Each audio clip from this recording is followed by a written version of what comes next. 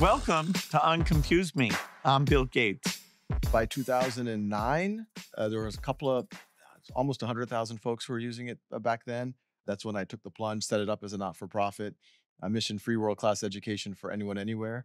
And then it spread. Oh, yeah. A lot of the vision of Khan Academy in the early days, yes, there was an accessibility piece of it. Yeah, we can make videos, we can share with everyone. But the pedagogical aspect wasn't just access, it was that people could finally leverage technology to learn at their own pace. If you only got a 70 or 80% on some concept, the class doesn't need to move on to the next one and build on that gap.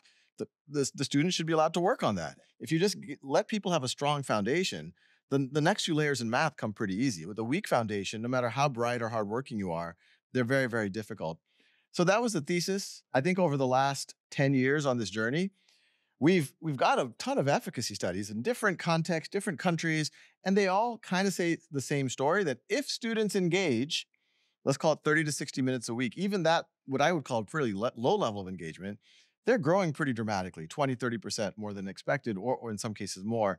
And so I think the question over the next couple of years is how do we get more students to engage at that level? Yeah, I think that challenge, a lot of our conversations have been on that you're tools are a miracle for the 10 to 15% most motivated. But then how do we draw in that other 85%? And I do think in the last year or two, as you've engaged with teachers and districts, we're starting to see that it can be a tool basically for all students. That's the goal. That's what I mean. Yeah.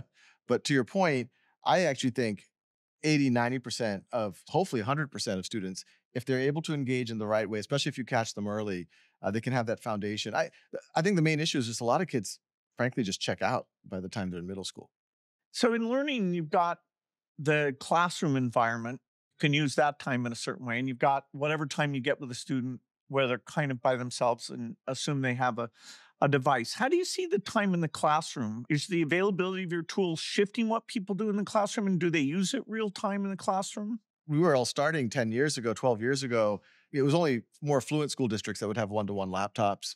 The rest of them had to share. The good thing is, over the last 10 years, because of E rate, a lot of that's been addressed. It's unusual now to see a, a school where you don't have one to one laptops in, say, a math class. And so, yeah, the, all the students will take out their the laptops and do 20 minutes while the teacher walks around. They'll take 10 kids aside, do a focus intervention with them, do a worked example with them. The other 20 keep working. Then they'll take another 10 aside.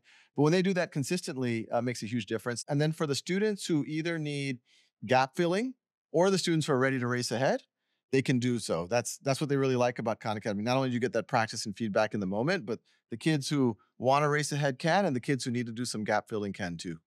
And the dashboard that helps the teacher see the status of all the students, that's a Khan Academy thing that the teacher account gives them a really clear indication of what's going on. I mean, we all remember growing up in a classroom that the only time of real measurement is at the end of the unit. And then you get the test, the test is graded, you get a 90%, I get an 80%. All right, let's move on. No one even attempts to improve that. And so, what we realize is that now with tools like Khan Academy, you can give real time information. Well, you can give real time feedback to the student, but you can also give real time information to the teacher so that they can intervene and they can do things. I, I hope in the future that that practice is the assessment, that you don't even have to take separate assessments. But yeah, the idea is let's give the teachers real time information let's not wait until it's too late. Subscribe to Unconfuse Me wherever you listen to podcasts.